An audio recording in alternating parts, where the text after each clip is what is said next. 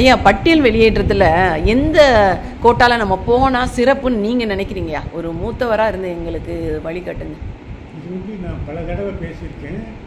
பட்டியல் வெளியேற்றம்ங்கிறது schedule castle இருந்து இப்போ ஷெட்யூல் கேஸ்ட் கூட இந்த திராவிட கட்சியில் வந்து ஆதி திராவிடம்னு மாற்றிட்டேன். இந்த இதெல்லாம் விட்டுட்டு ஷெட்யூல் கேஸ்ட் வந்து நம்ம நேரடியாக ஃபார்வர்ட் கேஸ்ட்டுக்கு போகணும் போகணும் நம்ம சிவனுடைய பரம்பரை ம். திருமாலுடைய பரம்பரை பார்வதியோட பரம்பரை மல்லர் பரம்பரைன்னு சொல்லிட்டு ஆண்டவர்கள்னு சொல்லிட்டு. கடைசியில் போய் எங்களை அந்த பட்டியலை சேர்த்து இந்த பட்டியல் சேர்த்துக்கிறது ஆ. வேண்டாம் நாங்கள் தான் எல்லாத்தோட உயர்ந்த ஜாதி. அதனால எங்களை வந்து ஓப்பன் கோட்டாவில் போடு.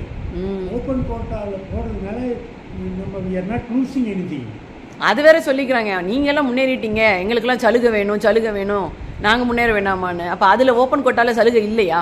ஓப்பன் கோட்டாவில் நிறைய சலுகை இருக்குது இதை விட அதிக. தேவேந்திரர்களுக்கு. இருக்கு. ஏன்னா நீங்கள் ஃபார்வர்ட் காஸ்ட்டில் போனீங்கன்னா ஃபார்வர்ட் காஸ்ட்லேயும் டென் பர்சன்ட் ரிசர்வேஷன் பண்ணியிருக்காங்க இப்போ சென்ட்ரல் கவர்மெண்ட் ஆமா. அந்த ten percent economic basis economically weak section so அந்த எக்கனாமிக் பேசிஸில் நம்மளுக்கு அதில் வருது. அது போக அந்த ஜென்ரல் ஃபார்ட்டி பர்சன்ட்லேயும் வந்துரும். உள்ளதுலேயும் போடலாம். இப்போ இங்கே இருக்கிறதுனால என்ன பண்ணுறான்னா ஓப்பன் கோட்டாவில் ஷெட்யூல் காஸ்டில் இருக்கிறதுனால ஓப்பன் கோட்டாவிலையும் நம்மளுக்கு கொடுக்க மாட்டேங்கிறான். கொடுக்க மாட்டாங்க அது அது வந்து செய்கிற சதி. இந்த ஓப்பன் கோட்டால போக முடியாது போகிறது இல்லை கொடுக்கறது இல்லை ஒன்றும் கொடுக்கறது இல்லை. ஷெட்யூல் காஸ்ட்டில் இங்கே பதினஞ்சு பர்சன்ட்டு ஃபில்அப் பண்ணாமல் இருந்தானுங்க இந்த இந்த ஐம்பது வருஷம் நூறு வருஷமா. இதில் வந்தது எப்பவுமே இந்த பதினெட்டு பர்சன்ட் ஃபில்அப் பண்ணதே கிடையாதுங்க. காங்கிரஸ்காரத்துலேருந்து இன்றைக்கு வரணும். பதினெட்டு பர்சன்ட் ஃபில்அப் பண்ணுறதே இல்லை. அதில் வந்து அஞ்சு பர்சன்ட் ஆறு அது இப்ப ரொம்ப கொடுமையா. இவங்க இந்த. மூணு பெர்சன்ட் சக்கிலியர்களுக்கு வாங்கி கொடுத்தாங்க. கருணாநிதியும் கிருஷ்ணசாமியும் சேர்ந்து. அது மட்டும் இல்லை. இதுக்கு முன்னாடி காங்கிரஸ் பீரியடில் என்ன பண்ணா அஹ், பறையருக்கு கொடுத்தது போக மிச்சம் இருந்தால் தான் உங்களுக்கு அப்படிங்கிற மாதிரி பேசிட்டு இருந்தானுங்க ஒரு மந்திரி இருந்தார் பறையர். மனசில். கக்கன்னு சொல்லிட்டு. ஆமா. அவர் நேரடியாக நான் ஒரு தடவை போய் பேசியிருக்கேன் நான். ஓ. அவர் சொல்லிட்டார் ஐயா நீங்கள்லாம் ஏதோ ஒரு ஏக்கரா ரெண்டு ஏக்கரா காடு வயல் வச்சுருக்கீங்க. ம். எங்கள் ஆளுக்கு ஒன்றுமே இல்லைங்க ஆ.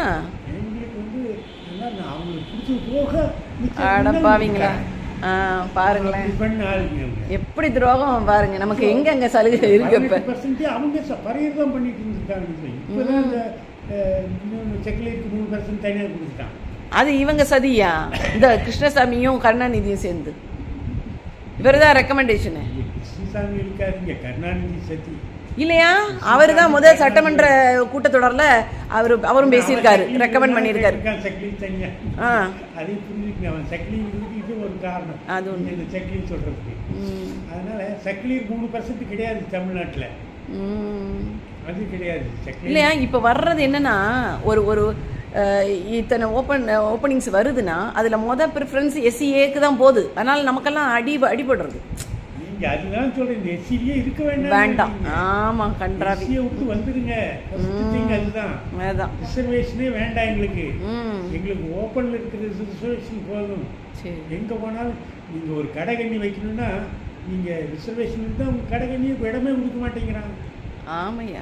வாடகை கூட மாட்டேங்கிறான். கடை கண்ணி வச்சீங்கன்னா ஒரு வியாபாரம் இல்லைன்னு. அதனால தானே. நம்ம வேற தொழில்ல போக முடியல. ஆமையா. நீங்க அதில் போனீங்கன்னா கடை கண்ணி வச்சு குறைச்சிக்கலாமே இப்போ நாடார் என்ன பண்ணா ஆ ஷெட்யூல் காஸ்ட்லேருந்து ஷெட்யூல் காஸ்ட்டோட மோசமாக அஞ்சாம் ஆறாம் ஜாதியாக இருந்தவன் இந்த வியாபாரத்தில் போய் தானே உலகம் முழுசுக்கும் இன்னைக்கு அவன் பெரிய. அவர் பாலசுந்தரராஜ் எழுதும் பொழுது சொல்றாரு. நாடார்கள் தன்னுடைய கல்விக்காகவோ அல்லது ஃபினான்ஷியல் சலுகைக்காகவோ அவங்க போராடல. தன் இழிவிலிருந்து வெளியே வர்றதுக்கு அவன் போராடினா வெற்றியும் பெற்றான். மிகப்பெரிய போராட்டம். ஷெட்யூல் காஸ்ட்ல எங்களை வேண்டாம்னு. வெளிய வந்தாங்க. நம்ம ஆளுங்க முட காஸ்ட் சேர்த்தா கூட எல்லாம் சேர்த்து சேர்த்துன்னு சொல்ல முடியாது நம்ம முட்டாள்கள். அது சேர்த்துருந்து பூரா பறையருக்கு போச்சு. பறையர் லாபத்துக்கு தான் போச்சு ஒழிய தேவேந்திரனுக்கு இல்லை நஷ்டம் கிடையாது. நஷ்டம் தான். ஒரு பர்சன்ட் கூட தேவேந்திரனுக்கு கிடைக்கலைங்க. அவங்களுக்கு பறையர்கள் இல்லைன்னா தான் உங்களுக்கு ஒன்னார கொடுத்தான். அது எனக்கு ஓப்பனாக தெரியும் அந்த கா கா- கக்கன் காலத்துலேருந்து இன்னைக்கு வரையும் அதான் பண்ணிட்டு பண்ணிட்டு இருக்காங்க இன்னைக்கு தெரிஞ்சே பண்றான் இந்த திராவிடம். கர்நாடக குரூப் என்ன பண்ணுறாங்க வல்லர்னா கொடுக்காத. அதுதான் தள்ளி பறையை கொடுத்துரு அப்படி பண்ணுறாங்க ஸோ நம்ம இது இருக்கிறதுனால சமூக மரியாதை போய் கடகண்ணி தனித்தொழில் செய்ய முடியாமல் இருக்கிறது காரணம் அரசியல். அங்கீகாரமும் போச்சே. அது அந்த போனதுக்கு காரணம் இந்த ஷெடியூல் காஸ்ட் இருக்கிறதுனால இந்த. வரலாறை அழிச்சாங்க. அதே ஸோ இந்த வரலாறுகள் திருப்பி வரணும்னா நீங்கள் வந்து இந்த ஷெடியூல் காஸ்ட்லேருந்து வெளியே வரணும். ஷெடியூல் காஸ்ட்லேருந்து வெளியே வந்து நேரடியாக ஃபார்வர்ட் காஸ்ட்டுக்கு போகணும். வேறு எந்த காஸ்ட்டும் வேண்டாம் எவனோட போய் போட்டி போட வேண்டாம் ஓப்பன் காட்டால் இருக்கிற அந்த ஃபிஃப்டி பர்சன்ட்ல நம்மளுக்கு ஐம்பதுல எக்கனாமிக்லி வீக்க செக்ஷன்ல போட்டாலே நமக்கு வந்துரும். போதும். ம். அது போதும் அதுதான் நமக்கு பெருமை. அதை வச்சுட்டு நிறைய தொழில் செய்ய முடியும் செய்யலாம்.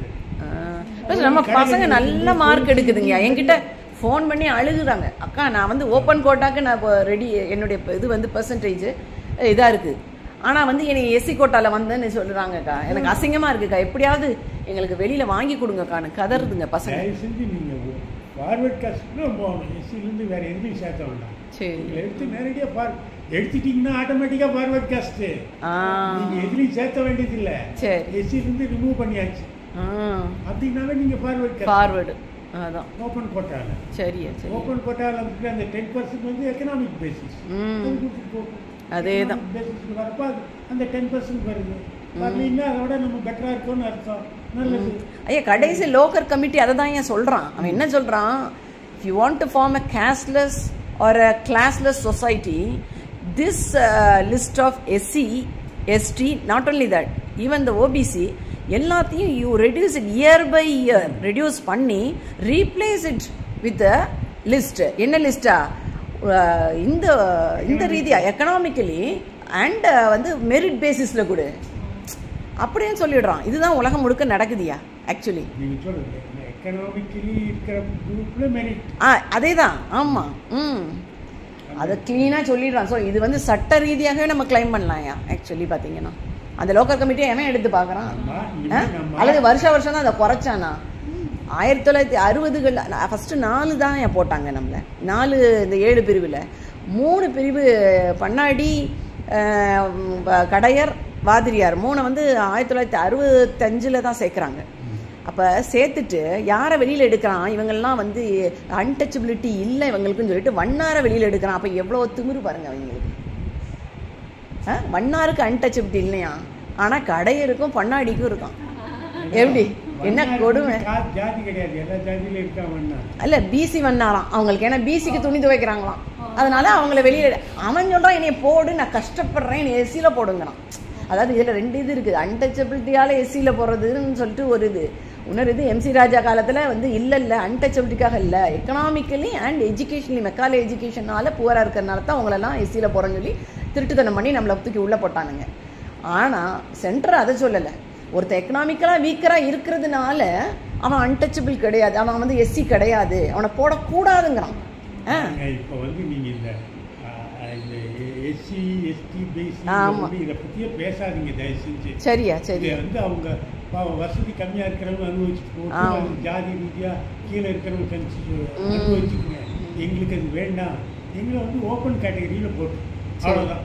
எஸ்சிலேருந்து எடுத்துரு எஸ்சிலேருந்து எடுத்தாவே ஆட்டோமேட்டிக்காக ஓப்பன் கேட்டகரி ஆமாம் அதுதான் சொல்லணும். எஸ்சிலேருந்து எங்களை எடுத்து. எங்களுக்கு வேண்டாம் இந்த உங்கள் கன்சிஷன் சரியா சரி அதைத்தான் சொல்லணும். இப்போ உங்கள் தலைமையில் தான் இதை நான் பண்ணணும்னு முடிவு எடுத்துட்டேன்? உங்களை டெல்லி கூட்டிகிட்டு போய் உட்கார வச்சு ஏன்னா இங்கே எதுவும் சரியில்லை. உங்களை வச்சு தான் இந்த கூட்டத்தை இணைச்சு விடணும். மோடிக்கு போகணும் மோடி. மோடிக்கு போகணும் மோடி. இருக்கு, ம். மோடிக்கிட்ட போகணும் நம்மளை வந்து எங்களுக்கு ஒரு கன்சிஷன் வேண்டாம் செடியை எடுத்துரு எடுத்துரு இப்போ இருக்கிறவன் வேணுங்கிறவன் அதுலேயே இருந்துட்டு போட்டு எதில் போகிறான் எஸ்சி இருக்கிறவன் இருந்துட்டு போகிறான் ஜென்ரலாக வந்து தேவேந்திரனே எடுத்து அவ்வளோதான் சரி சரி. இந்த- ஏழு பிரிவு போட்டுட்டானே தமிழ்நாட்டு அது வேண்டாம் ஏழு பிரிவும் எடுத்துரு மொத்தமாகவே தேவேந்திரர்களே எஸ்சியிலிருந்து எடுத்தாச்சுனாவே ஏழு பிரிவு ஐநூறு பிரிவு இருந்தாலும் எடுத்தாச்சு ஆட்டோமேட்டிக்காக எடுத்தாச்சு. தேவேந்திர உள்ள வேளாளர்னு பேர் வேணுமா? மல்லர்னு பேர் வேணுமா? எஸ்சிலிருந்து எடுத்துரு அவ்வளோதான் சரியா சரி மேலும் இது போன்ற வீடியோக்களை உடனுக்குடன் தெரிந்து கொள்ள நம்ம மூவிந்தர் மீடியா சேனலை சப்ஸ்கிரைப் பண்ணுங்க. மறக்காம பக்கத்தில் இருக்கிற பெல் பட்டனை கிளிக் பண்ணி ஆளுங்கிற ஆப்ஷனை சேர்த்து கிளிக் பண்ணிக்கோங்க. அப்பதான் உங்களுக்கு செய்திகள் உடனுக்குடன் வந்து சேரும். நன்றி.